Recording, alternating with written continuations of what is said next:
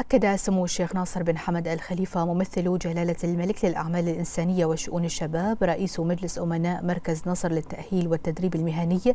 أن الشباب ركيزة أساسية وثروة الوطن وأساس تقدم في مختلف المجالات وذلك بفضل الرعاية التي يحظى بها هذا القطاع من لدن جلالة الملك المعظم والاهتمام المستمر من الحكومة الموقرة برئاسة سمو ولي العهد رئيس مجلس الوزراء.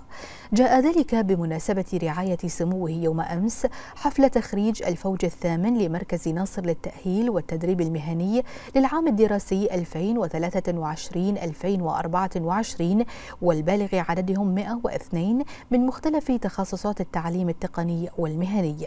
وأشار سموه إلى أن مركز ناصر للتأهيل والتدريب المهني يعتبر ركيزة أساسية ونموذجا في تمكين الشباب خصوصا أن المركز مدينة تعليمية شاملة تسهم في استكمال رؤية جلالة الملك المعظم المستقبلية عبر تنمية الشباب وتأهيلهم في مختلف العلوم المهمة في مستقبل الصناعة والتكنولوجيا.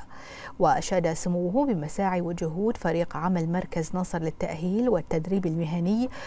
وأذرعه المختلفة وما يحققونه من منجزات تسهم في نمو الابتكار التكنولوجي وتنمية المهارات وتعزيز هذه الثقافة لدى المؤسسات والأفراد وأسهاماتهم في ترسيخ مكانة مملكة البحرين على المستويين الإقليمي والدولي وذلك عبر تحقيق المعايير الدولية ونيل الجوائز المرموقة مقدما سموه التهاني والتبريكات للطلبة الخريجين.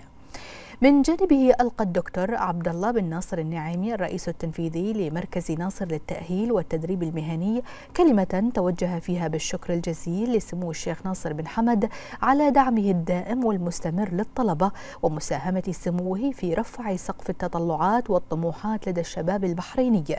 هذا ويشهد مركز ناصر للتأهيل والتدريب المهني تخريج الدفعة الأولى من برنامج الابتكار التكنولوجي تخصصات الذكاء الاصطناعي في الحوسبة السحابية.